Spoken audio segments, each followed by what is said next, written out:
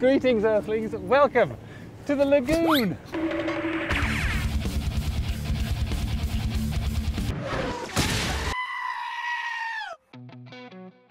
Welcome back to the Tiny Garage, everybody. Uh, for those of you who enjoyed the focus on the Porsche 996 oil system over the last two weeks, a small update on that. A lot of you mentioned a couple of brands in particular. One of them would be Phil996 mentioned the Driven Oil brand, which you can get in America. But a bunch of you European types mentioned Miller's Oils, um, specifically uh, Muttley 4S uh, also, Pig Monkey, hey Pig Monkey, and Lee Jenkins uh, all mentioned the Miller's Oils, which you can get that in England, obviously, uh, Russia, uh, Africa, even the Falkland Islands, but you can't buy it in America. So lucky you guys. Uh, another thing to mention is also the viscosity level. The thinnest oils, so to speak, were the oils recommended by the Porsche dealer here in California, and that was zero W40 weight oil. By far the most common weight that you all mentioned was 5W40 weight. Uh, Valhalla, hello Valhalla, mentioned that in Europe that is the new recommended weight for the uh, Porsche Carrera. Uh, and then the thickest weight was 10W50 recommended by Lee Jenkins at Hartech UK. That's the Miller's oil weight that they put into their cars. And so that is a pretty good recommendation.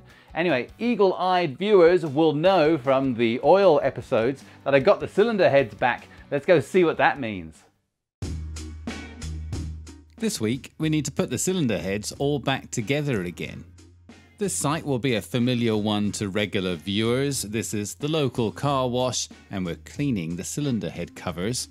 However, the professionals use something more like this. This is a $16,000 Snap-on PBC 58 parts washer. I brought the cylinder heads to HGS Machine in Escondido because they have a PBC 58 and this is the before picture and this is the after. In addition to a deep cleaning, the machine shop also skimmed 3 one thousandths of an inch of metal off of the combustion side of the cylinder heads to make them completely flat. We know from episode 21 on blueprinting that 3 one thousandths of an inch is about 76 microns, or about the thickness of a human hair. Very small indeed feast your eyes on the after shot. Thank you very much, Casey and Ryan and the team at HDS Machine in Escondido, California. First up on our new quick bench is the stands for the cylinder head that need to be 12 and a half inches apart. Thank you, Lee Jenkins at Hartech UK, for recommending these awesome, simple devices. To lap the valves, we're going to need a valve lapping tool, which is this wooden stick with the suckers on it. And then we're also going to need the grinding paste. This cheap Permatex stuff is the one that they recommend at the machine shop and everyone seems to use, and so I'm going to use that. Here is the cylinder head cover for Bank 2, and why we care is because of this number, R4545. That number is not particularly special, only it's on all the Bank 2 parts, and that's the way that we know that this cylinder head here, R4545, is Bank 2. I would like if you would hit the like button. Okay, we're ready for some valve action. We're going to start off by taking a look at the valve guides on the intake valves. That brass tube there can get worn out, like the hole gets bigger from the valve going up and down. The machine shop did check all of the valve guides already and found them to be in great shape. But a quick way to test, so I'm told, is you can just put some oil, I'm putting some WD-40 down this freshly cleaned valve guide, then you put the valve up from the bottom there. Then you can put your finger over the top of the valve guide and pull on the valve and you should feel suction. In absence of a machine shop, this test could be a way to get a rough insight into the condition of your valve guides. We're going to need our stick now. Let's take it out of the wrapper. Now, it does have in there this little rubber band, and there's no mention of what that's for. If anyone knows, let me know. I've got a microphone there so we can hear the grinding process. Here is the grinding paste. You can kind of see the little grit in it. It's like liquid sandpaper. Pretty sure that's too much I put on there. Um, you don't really need that much. Here we'll have a quick listen to what it sounds like when you first start. There it is after five minutes. It's kind of a higher pitched, more ringing sound to it. So that's what it sounds like after five minutes. I'm moving next door here and I'm going to do the same sort of thing, but I'm going to do more time. So we're starting off by the same thing, five minutes by hand. And then at the end of the five minutes, I'm just sort of cleaning up a little bit of the uh, grinding paste and then reapplying fresh grinding paste. And then going for another five minutes for a total of 10. So here's what 10 minutes sounds like. Let's compare that to five. Obviously, five minutes is much more gritty. Here's on the right hand side is the five minute valve. On the left is the 10 minute valve, and you can visually see that the 10 minute valve is better, it's much smoother. I did find that much more than 10 minutes didn't really seem to make much difference. I'm using an 8 times loupe here to check the valve seats, and the story is the same. 10 minutes, good. 5 minutes, okay, but not quite enough. So 10 minutes is the magic number. I decided to try and cheat. I put the lapping tool onto the chuck of my drill. Running the drill at low speed and changing the direction every 30 seconds was a great way to remove quite a lot of the rough material but I did find that the hand method gets a much better, much smoother finish. And so in the end, I came up with this. Two minutes with the drill, followed by three minutes by hand, a total of five minutes, gleans pretty much the same result as 10 minutes by hand. Reducing that time from 10 minutes a valve down to 5 minutes a valve means that the 12 valves in this head will take 1 hour to do instead of 2.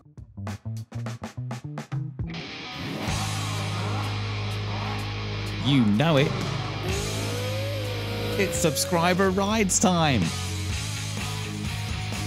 Our first subscriber rides contestant is Martin Cutler with his 2007 Ferrari F430 with the F1 transmission.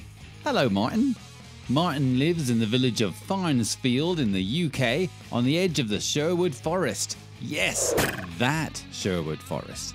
Martin told me that he recently had all of that Rosso red loveliness ceramic coated, including a PPF film to protect the front end from rock chips. Martin has had four Porsches in the past, including more recently this Guards Red 991 C4S. Lovely. When Martin's not living the dream in his Ferrari, you may find him risking life itself on one of these two stroke GP bikes because Martin is a madman. When Martin is not risking his life on the track, you can find him driving one of these, which is a Boeing 737 for Amazon. Thank you for sharing your Ferrari F430 with us this week, Martin. I personally love that car. If you would like to be featured on subscriber rides, let me know. Hit the notification bell, it's up there. Yes, please. Good news, we've done half the valves. Bad news, the ones we haven't done are the exhaust valves. Let's get on with it. The original to do list for the machine shop included regrinding the valves and recutting the valve seats. Once the machine shop got a look at their heads, they said really they were in very good shape and didn't need that kind of machine work, and there was a couple of spots on the exhaust valves that probably could be fixed with lapping. That lump of lava there is one of the things they were talking about, some sort of carbon deposit that stuck right onto the valve seat. If you remember back to the leak down test we did in episode 4, it really is no surprise that these valves wouldn't seal if after all this cleaning we still have these deposits sitting right on the seats.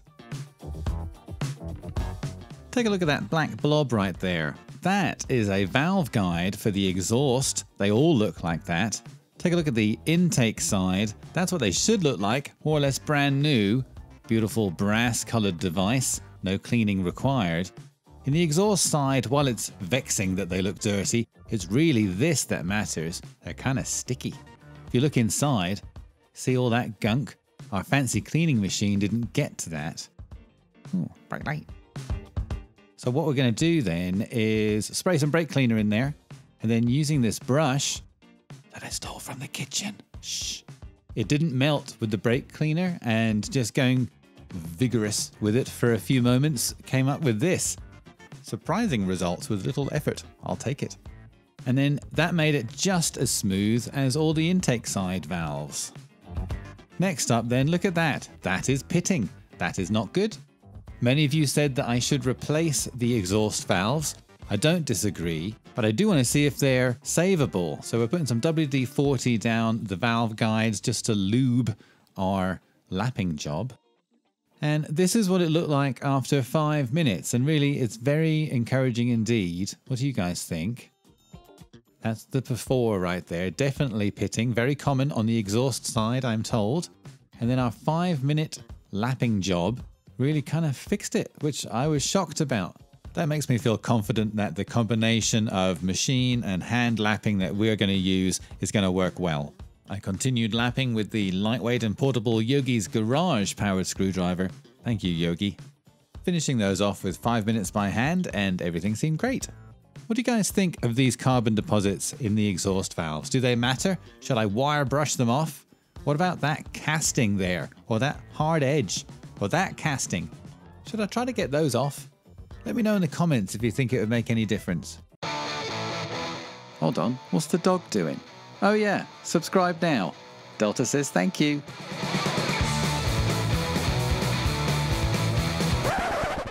Okay, you've lapped yourself silly. How do you know when you're done? Well, here's a fun way to find out the water test. As you can see, we're simply pouring water into the combustion chamber side of the cylinder head. And yes, you can't see it very clearly just yet, but there is a little trickle of water there. And as Virtue would have it, if you look inside that intake port, you can easily see where it's coming from. And it's coming from the left hand intake valve on cylinder 6. Knowledge is power, folks. Alright, so I flushed that one out and decided just to keep on going for now. Got an L on that one for leaky. Could be something else. So on these ones, all I'm doing is I'm putting the spark plug back in, the old spark plug, not torquing it really, just making it tight. Then sticking the valves in, no springs or anything. Pouring the water in. Leaving it for a bit. Obviously, I cut that time out here. And then just having a poke around. And that one was dry, totally sealed. Same with cylinder 4. I just felt very lucky. Then what I did is I went back to cylinder 6, gave that 5 minutes, tried it again, and bingo! I was shocked that that worked. I just thought that was a laughable test.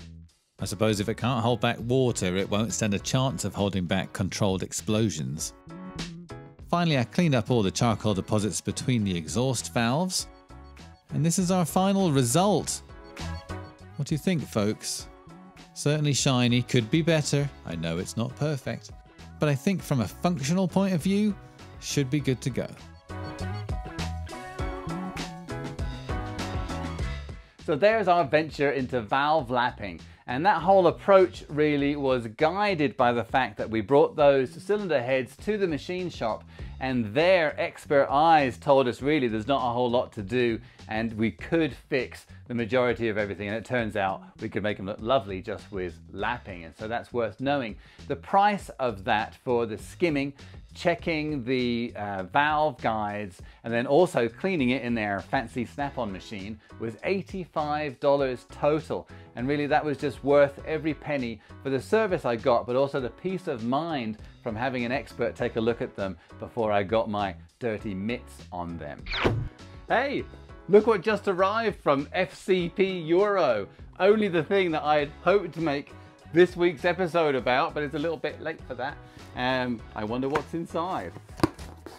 What? Okay, cool. Unfortunately, that is all we have time for this week. Thank you very much for watching. Till next time.